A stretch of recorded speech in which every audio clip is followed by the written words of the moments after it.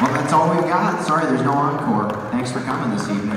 Um, as far as dismissing these lovely